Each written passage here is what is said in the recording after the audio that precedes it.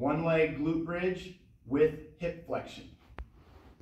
I'm laying on my back, knees bent, feet flat, about six to eight inches away from my butt. I'm gonna elevate one knee, one leg up into the air.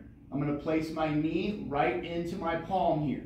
Okay, so as I lift up, driving through my right foot, I'm lifting my hips all the way up, extending that right hip. At the same time, I'm driving my knee into my hand. So I'm squeezing my glute on my right side and really flexing my hip there on my left side as I hold for two seconds.